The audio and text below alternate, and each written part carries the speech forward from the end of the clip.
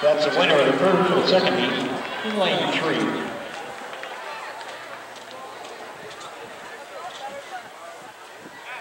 Lysol Judas, Mini in lane three, the winner of the second heat.